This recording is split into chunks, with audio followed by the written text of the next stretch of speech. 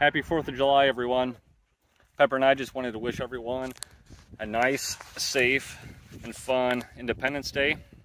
And we wanted to express how thankful we are to have the freedom in this country here in America to use different dog training tools such as prong collars and e-collars, tools that are actually banned in other countries around the world. Um, but I also wanted to bring awareness to the fact that there are people out there trying to ban those tools here in America.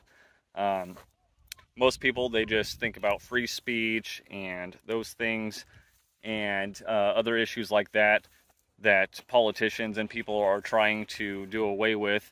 But people are actually trying to ban and take away dog training tools like a prong collar and an e-collar because some people might use those tools to abuse their dog. So that apparently makes it um, a bad thing and, you know, dog abuse if everyone uses those tools, which we all know is not true.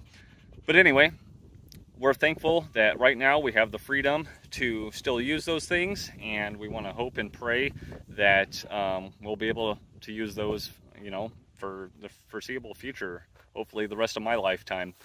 But uh, anyway, again, have a good Independence Day, and we'll see you in the next video.